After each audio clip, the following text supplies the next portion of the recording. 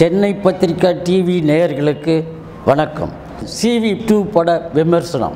தன்னை கொலை செஞ்ச நபர்களை பழிவாங்கிய பேயை வெளிச்சம் போட்டு காட்டுறது தான் படத்தோட ஒன்லைன் ரெண்டாயிரத்தி ஏழில் வெளியான சிவி படத்தில் பேய் செஞ்ச கொலையும் அந்த ஆஸ்பத்திரியில் நடக்கிற அமானுஷ்ய செயல்களையும் யூடியூப்பில் லைவ் செஞ்சு சில ஸ்டூடெண்ட்ஸு பணம் சம்பாதிக்கணும்னு நினைக்கிறாங்க.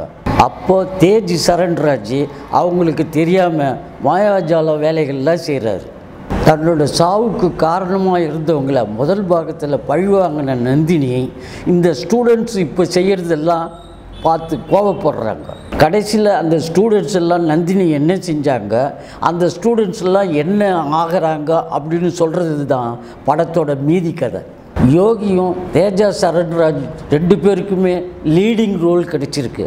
அதை உணர்ந்து இயல்பாக நடிச்சிருக்காங்க. இவங்களை எல்லாம் ஓவர் டேக் செய்கிற மாதிரி அழுத்தமான கதாபாத்திரத்தில் சாம்சன் நடிச்சிருக்கார். கதைக்கு பக்கபலமாக இருக்கிற காலேஜ் ஸ்டூடெண்ட்ஸ் எல்லாரும் அவங்க திகில் அடைகிறது மட்டும் இல்லாமல் நம்மளையும் திகில் அடைகிற மாதிரி நடிச்சிருக்காங்க.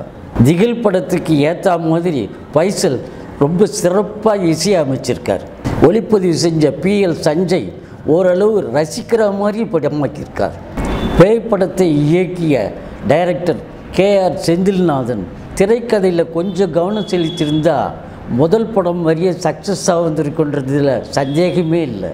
நன்றி வணக்கம். சென்னை பத்திரிகா யூடியூப் சேனல் நேயர்களுக்கு வணக்கம். மறக்காமல் இந்த யூடியூப் சேனலை சப்ஸ்கிரைப் பண்ணுங்க. என்ஜாய் பண்ணுங்க.